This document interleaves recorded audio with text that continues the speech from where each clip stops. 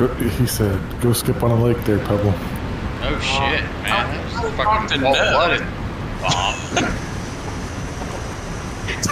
I don't. I don't know if anyone knows this about Bob, but he's a complete asshole.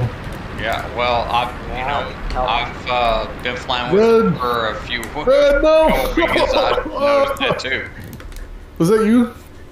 yeah, that was me. that was the funniest.